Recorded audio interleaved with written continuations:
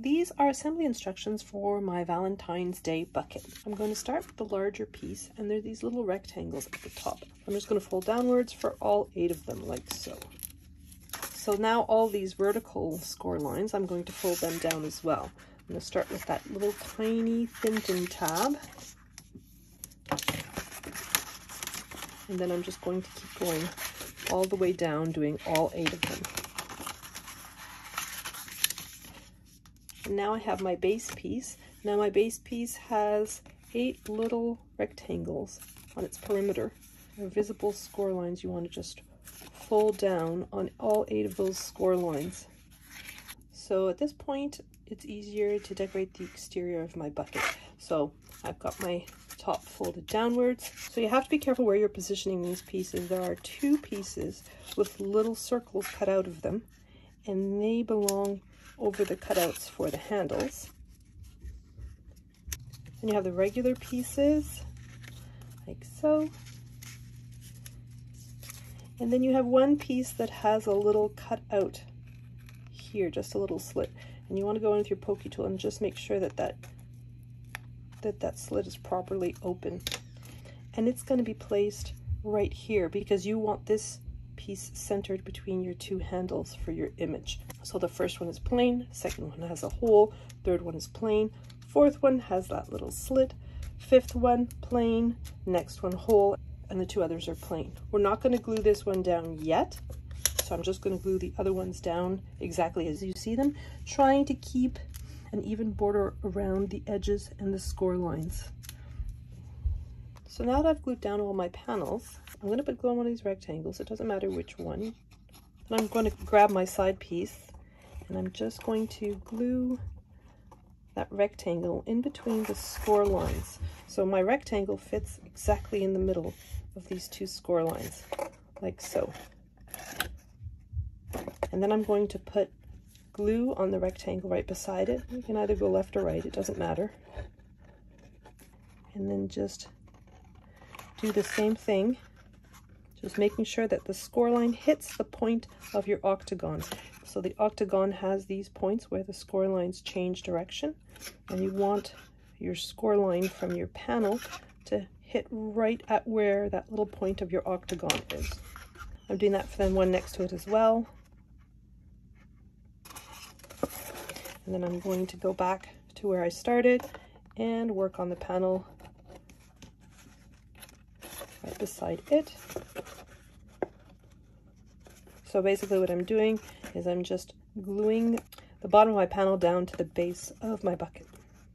I'm just applying a little bit of pressure as I go to make sure that my glue takes. I have my two last flaps left and that's where my panels join together. So what I want to do is I'm going to glue down the one with the flap first. I'm just putting glue on that rectangle. The flap is here and I'm just gluing this down to its corresponding tab. And then I'm putting a little bit of glue just on the corner underneath this tab. So on this tab, but just at the corner here. I'm gluing my tab down. And now I'm putting glue basically in an L shape all the way down, all the way down my tab and on that rectangle at the base as well. And just joining my piece up like so So my bucket is already formed and I have these flaps at the top. I have a little hard border that's cut out of the band that goes around the top. And I'm just folding down on all the score lines. Now the reason why I have two of them is because this, this piece together was more than 11 and a half inches, so I had to break it into two parts. So next I have them side by side. I'm going to put glue on this tab. Now there's a cutout in this tab because there's a heart on the next part of the band. So I'm just putting glue all over my tab. A little bit odd shaped with that cutout.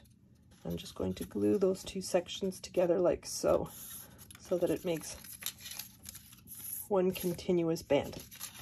So this panel that I've left blank is going to be my front panel. I don't want my join for my panels to be right in front. I want maybe one over. I've got the one with the hole. I'm going to start with the one next to it. And I'm going to glue that on top. Just putting glue along that flap. And here's my join. I'm just gluing that down to the flap. I'm leaving the smallest of borders at the top. And I'm going to glue over the next tab. And so I'm just going to continue gluing down each one of those tabs. Just wrapping that band around that top portion of my bucket, gluing my border to the top, like so. When I'm doing things like this, I like to do the join last because it's usually the trickiest part.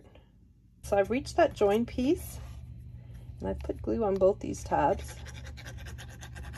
And I'm also putting glue on my little join tab on the side. So I'm just going to glue down the tab flap first. And then I'm going to glue it all to that panel. And then I'm going to join my top like so. Next I have my little image for the front of my bucket. I've cut out of uh, remnants of some smart vinyl.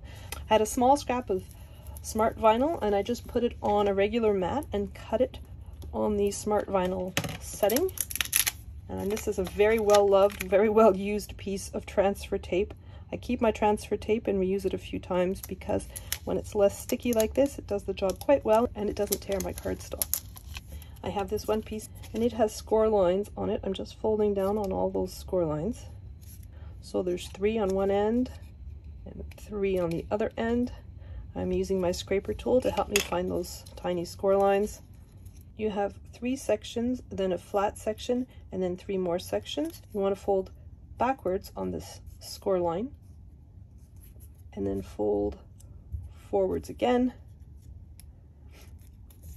You're going to do that on the other side as well. Fold backwards and then fold forwards again. And that way your piece meets at the middle like so. I'm going to put glue on the underside of that long section and I'm just gluing each side down. And so this will make like a little T. So these pieces I'm going to fold back on themselves like so.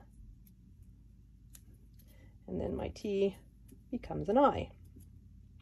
So I'm threading it through the slit that I made in that glitter cardstock.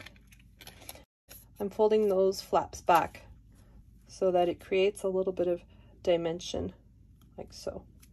So now I'm just going to go in there and put glue on the back of those flaps and just flattening them down onto my panel like so.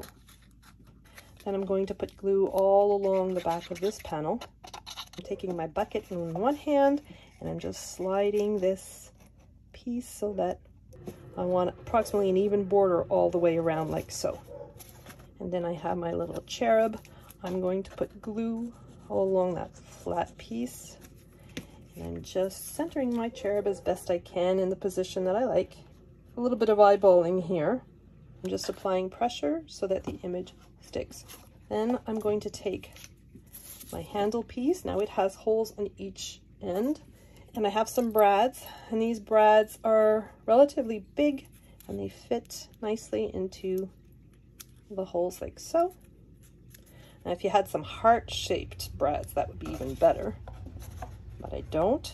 So I'm just inserting my brad into the little hole on the side and then and then opening my brad like so. And then bringing that I'm bringing my handle to the other side where that hole is. I'm inserting my brad on the other side and then opening my brad like so. And there you have it, my little Valentine's Day themed bucket.